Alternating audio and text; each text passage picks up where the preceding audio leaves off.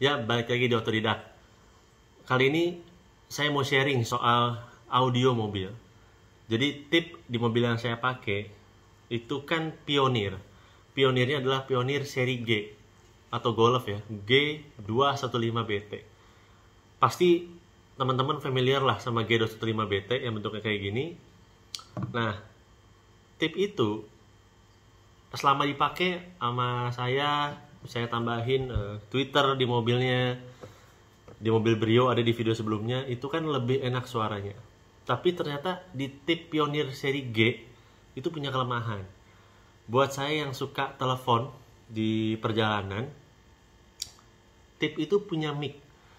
Micnya itu internal di dalam head unitnya. Jadi dia internal mic ngomongnya bukan eksternal Nah ternyata selama dipakai yang namanya mic internal tuh e, banyak noise. Jadi ketika kita teleponan, selain kita harus lebih ngomong keras, lawan bicara kita tuh sering kali mendengar suara motor kayak suara jalan di sekitar kita.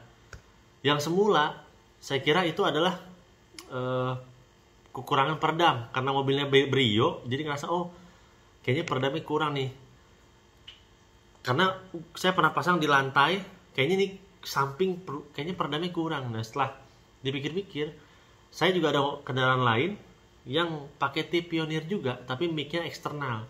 Rasa-rasa noise-nya walaupun gak seberisik Brio cuman ya nggak jauh-jauh banget lah. Tapi kita kalau teleponan masih bisa dengar lawan bicara dengan enak. Kita komunikasi itu enak gitu karena dia micnya eksternal ditaruh di atas pion tengah gitu. Jadi saya ngambil kesimpulan bahwa ini kayaknya yang keliru adalah uh, tape-nya tapi berhubung sayang kalau beli teh baru karena harga teh baru itu mahal yang ternyata seri Pioneer yang G itu memang micnya internal. Di mana mic internal itu emang pasti jelek untuk dipakai teleponan secara Bluetooth gitu-gitu. Ada di atasnya G seri A, lalu paling atas seri Z. Nah, kemudian saya tanya berapa seri A yang paling e, murah dan micnya eksternal. Ternyata harganya 3,5 juta. Itu A seri A2 berapa gitu? A2 3 digit lah Bluetooth.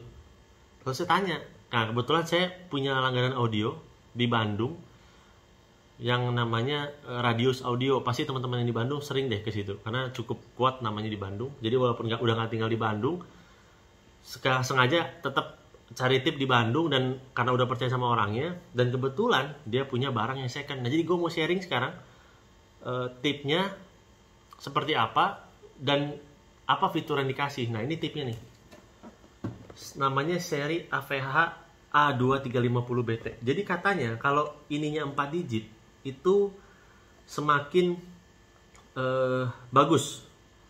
Nah, tip ini lumayan detail ya kalau dia, dia ada web link Spotify. Nah, ini barunya ini tahun 2020 awal masuknya.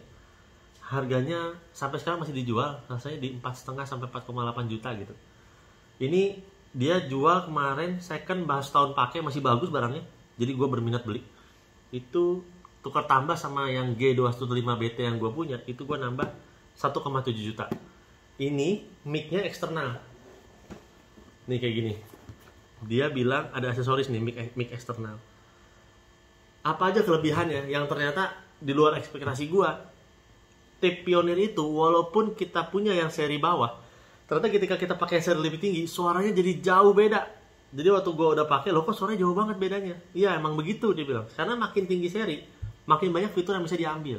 Jadi ini bisa ngatur alignment bisa ngatur speaker depan bisa ngatur speaker belakang bisa ngatur subwoofer secara terpisah-pisah. Jadi emang kualitas audio yang dihasilin dari tip branded yang ternyata levelnya agak tengah ke atas juga makin bagus. Jadi beli inilah. Nah ternyata kurang nih.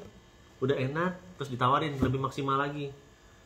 Pasang subwoofer dia juga punya second. Jadi gue nih beli beli second nih. Tapi katanya bagus-bagus masih baru-baru. Jadi ini tight bass. Mobilnya Brio. Mobilnya kan Brio nih. Nah ini dia 9 inch. Yang ternyata masuk di kolong kursi. Gue punya di mobil satunya itu 8 inch.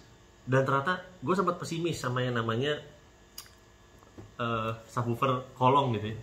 Kebiasaan dulu kita kan kalau modifikasi itu pasti bikin box di belakang gitu kan. Karena lagu-lagu zaman dulu kan pasti yang dijual bassnya gitu ya. Kalau sekarang kan ini kan seadanya aja tapi dicoba pas dipasang wah suaranya keluar banget nih bassnya pakai ini. Walaupun cuma 9 inch dan walaupun cuma subwoofer kolong jadi pas dicoba dua-duanya saya tuh nggak cuma improve sisi yang tadinya cuma mau improve sisi biar bisa teleponan jadi malah improve audio jadi dengan ngeluarin budget kemarin tuh karena tuker tambah tip lama di harga 1,2 juta nambah jadi ini nambah 1,7 tambah ini 1,4 masalah jadi totalnya 3,1 juta. Cuman memang suaranya jauh beda.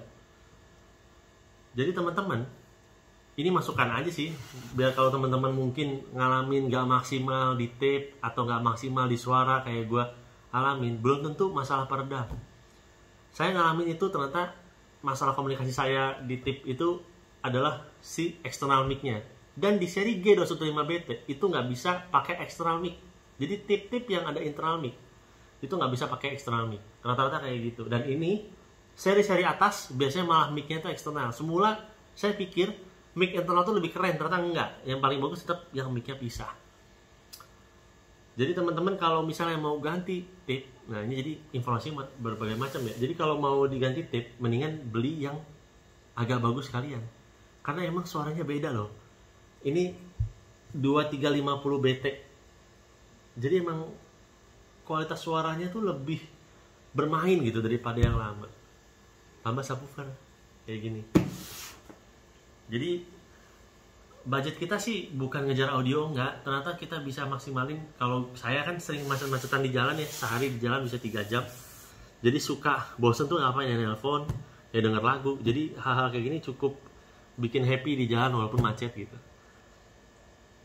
Mungkin itu aja sharenya. Jadi kalau teman-teman mungkin mau sharing audio yang enak kalau kemarin gue saring beli aja pionir tapi yang kelas bawah ternyata pionir kelas bawah juga bisa kalah suaranya sama pionir yang agak atasan dan cukup jauh bedanya. Jadi mendingan beli yang agak bagusan sekalian sama pasanglah subwoofer kolong. Jangan pesimis ternyata sama subwoofer kolong. Ternyata suara yang dihasilkan subwoofer kolong juga bisa lebih baik jauh kok. Karena dulu kalau kita di bagasi kita kalahkan sama kursi juga kan. Dan bagasi itu kalau bikin box kan mobil jadi berat. Kalau ini kan mobil nggak ngaruh jadi berat. Itu aja kurang lebih sharing soal tip mudah-mudahan bisa jadi manfaat buat teman-teman. Kalau ada yang mau ditanya pengalamannya gimana atau fitur apa aja ya boleh sharing. Dan ini udah HD ya. Jadi ketika kita lihat gambarnya pun eh, beda sama tip lama gitu. Kalau kita putar Spotify ya bagus ya. Jadi keluar e, gambar albumnya tulisannya enak. Gambarnya jelas jernih. Karena kualitas suara kualitas gambarnya juga udah bisa HD kurang lebih itu. Terima kasih udah nonton. Sampai kita ketemu lagi di video berikutnya that.